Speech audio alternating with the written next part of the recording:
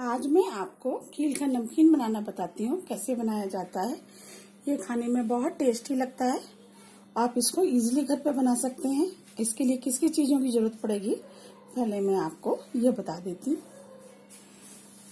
देखिए, ये खील ली है मैंने। ये देखा होगा आपने कि दिवाली पे घरों में आती है, जिससे पूजा की जाती है। ये वही वाली खील है।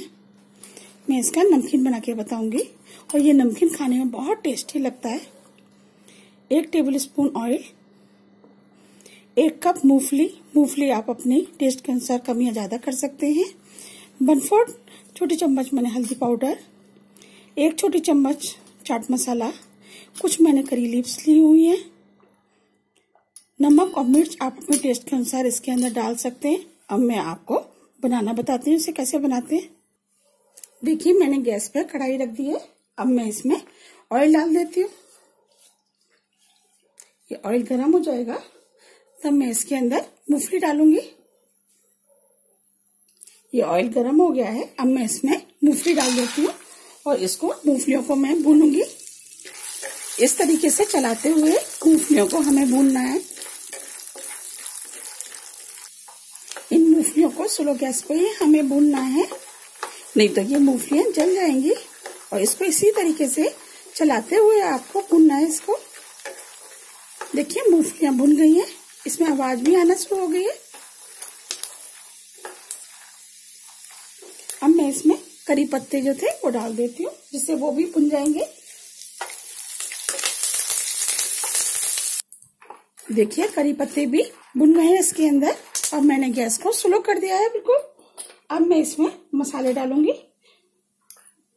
मैं थोड़ी सी मिर्च डालूँगी। मिर्च आप अपने टेस्ट के अनुसार इसके अंदर डाल लें।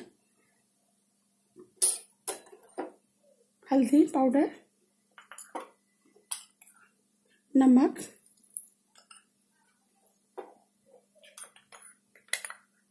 चाट मसाला। अब इसको मैं मिक्स कर देती हूँ। बस हमें मसालों को बहुत हल्का सा भूनना है। मसाले भुन गए हैं। अब मैं इसमें खील डाल देती हूँ ये।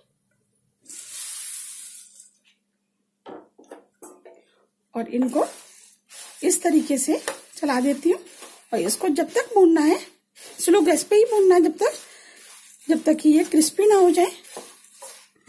ये नमकीन खाने में बहुत टेस्टी लगता है। वैसे तो बच्चे या कोई भी खीर खाना ज़्यादा पसंद नहीं करता। अगर आप ये नमकीन बना लेंगे तो सभी बहुत शौक से इस नमकीन को खाते हैं। आप इसको चाय के साथ खा सकते हैं या आप वैसे भी कभी नमकीन खाने की इच्छा है, आप इसको बना के खा सकते हैं।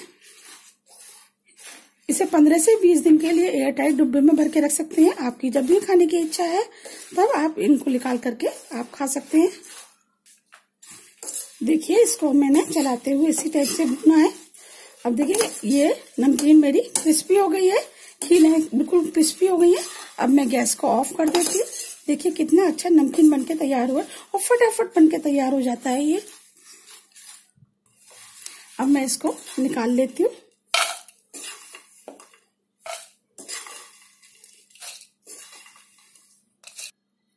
देखिए कितना अच्छा नमकीन बनके तैयार हुआ है। अगर ये आपको पसंद आता है तो आप दूसरों के साथ भी शेयर कीजिए और मेरे चैनल पर लाइक और सब्सक्राइब करना ना भूलें। मैं नेक्स्ट वीडियो लेके आपके सामने फिर उपस्थित होंगी। जब तक के लिए नमस्कार।